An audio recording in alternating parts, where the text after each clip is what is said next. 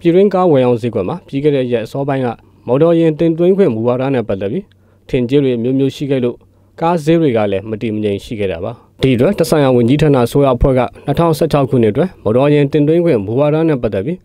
ဇန်နဝါရီလ9ရက်နေ့ကပဲတရားဝင်ထုတ်ပြန်လိုက်ပြီးဖြစ်လို့ပြည်တွင်းကားဈေးတွေကတည်ငြိမ်မှုရှိလာပြီဖြစ်တယ်လို့မြန်မာမော်တော်ယာဉ်ထုတ်လုပ်သူနဲ့ဖြန့်ဖြူးရောင်းချသူများအသင်းဥက္ကဋ္ဌက TVB ကိုပြောပါတယ်အတိတ်ပဲမောင်းဦးစားပေးတဲ့အတွက်ကြောင့်မလို့ အာဈေးတွေကကမောင်းမဖြစ်သွားတာပေါ့နော်တချို့ကားတွေပေါ့ဆိုတော့ကျွန်တော်တို့အရင်တော့ဒီဟိုနာဖက်တစီကိုတင်းတရာလောက်ဝယ်လို့ရမှာပဲသူကအခုပြီးခဲ့တဲ့ဥပဒေအသစ်မှာတော့စလိကတ်မှာခါကြတော့စလိက80လောက်ရှိတင်းတရာ80လောက်ဖြစ်သွားတာပေါ့နော်အဲ့လိုပြောတော့ကြောင့်လူတွေကဈေးတင်ပြီးရောင်းကြတာပေါ့အခုကတော့ထပ်ပြန်ထုတ်ပြန်လိုက်တဲ့စနေရဆိုတော့ကျွန်တော်တို့ကမော်ဒယ်ကြီးကအများကြီးပြောင်းလဲသွားတာမရှိဘူးပေါ့မရှိတော့ပဲကြောင့်မလို့ ဒီ brand new တစ်မျိုးကလွှဲရင်တော့ channel အားလုံးပဲရောညာတစ်မျိုးလုံးသင်လို့ရမယ်အဲ့တော့ကြောင့်မို့ကျွန်တော်တို့ကကားစီးရတော့အခုတော့ပြန်ပြီးတင်ကြိမ်လာတဲ့အနေအထားကိုတွေ့ရပါတယ်ဒီပြင်လက်ရှိအစိုးရတပ်တန်းကာလအတွင်းမှာမော်တော်ယာဉ်တင်သွင်းခွင့်နဲ့ပတ်သက်ပြီးမူဝါဒတွေကို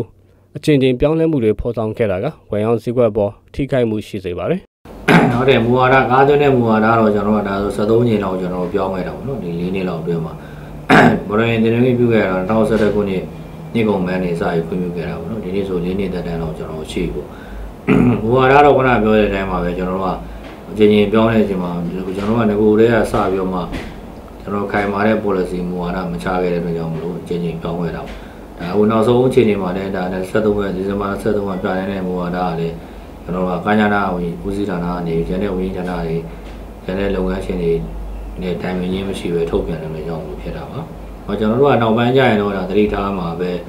ဒီကန်းစာယူစရာတကူကဘယ်လုပ်ငန်းဖြစ်ဖြစ်ခေါ်တာမို့အားရထုတ်ပြန်မယ်ဆိုရင်တော့လေ